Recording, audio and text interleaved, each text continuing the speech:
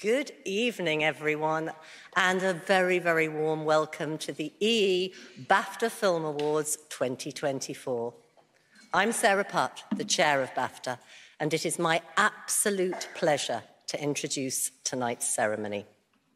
BAFTA is an independent arts charity and an academy with a membership of 12,000 creatives working across film, games and television. We're here to champion talent, exceptional storytelling, and to help make the screen industries a more equitable and sustainable place. We couldn't do this without your support. On that note, I'm honoured to welcome BAFTA's President, His Royal Highness, the Prince of Wales. Thank you.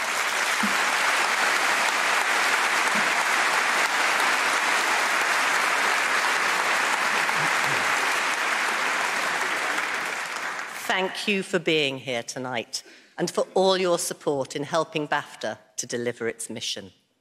May I take this moment to send Her Royal Highness the Princess of Wales and His Majesty the King our very best wishes.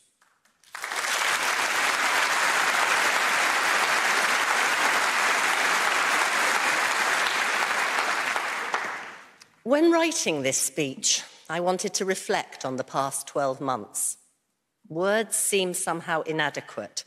It's been a year of immense challenge for our industry and for the world.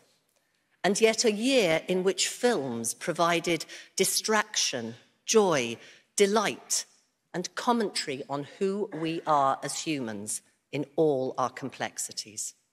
A year of stellar storytelling. The calibre of filmmaking represented in the nominated films this year is outstanding. It has definitely been the most talked about awards season in years. Yes, I'm calling it.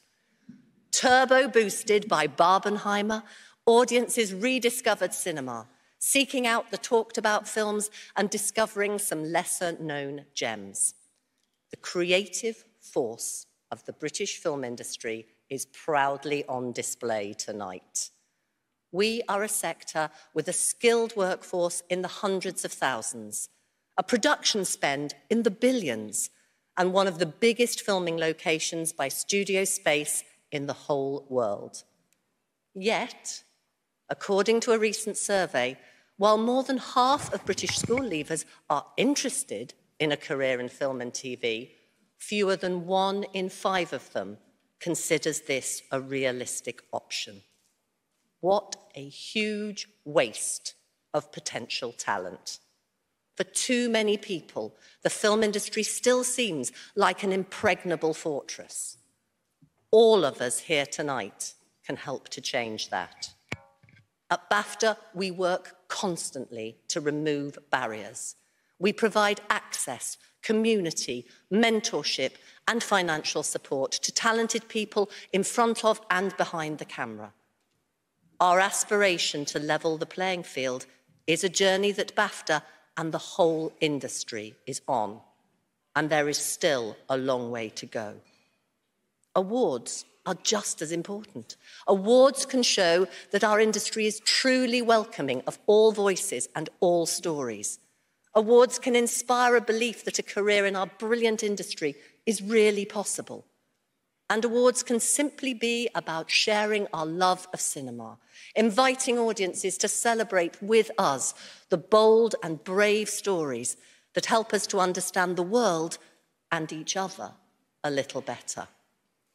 That is our industry's soft power. That is our superpower. I can't close without thanking the folk who make this magical evening happen. To Jane Millerchip, our amazing CEO, and the whole BAFTA team, the wonderful Anna Higgs, chair of the Film Committee, and all of the Film Committee, who volunteer their time and industry expertise so generously to BAFTA. Also, a big shout out to our fabulous partners, including EE, the BBC, and co-producers Penny Lane. And of course, tonight's host, the incomparable David Tennant. Last but not least, to all of our nominees. To be nominated by your industry peers, particularly in such a competitive and extraordinary year, is a truly impressive feat. This is your night. We are here to showcase your work, your talent, your stories. We hope you all have an amazing evening. Thank you.